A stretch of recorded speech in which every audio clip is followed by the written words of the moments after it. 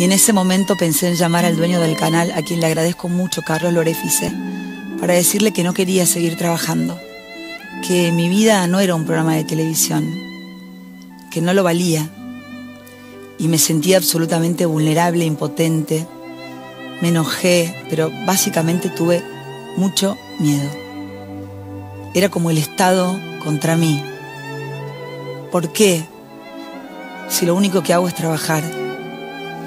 Yo no estoy ni de un lado ni del otro de la grieta. Yo no quiero estar ahí. Este programa se hace con todas las voces todas las noches. Digo lo que pienso.